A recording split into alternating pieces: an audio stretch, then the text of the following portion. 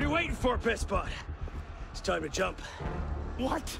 Prison scrambled your brains, old man. Drink took care of that a long time ago. Now get up there! I can't, that's impossible. Impossible? That's the purview of every assassin boy.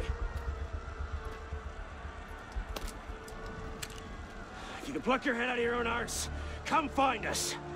You'd make a great fit.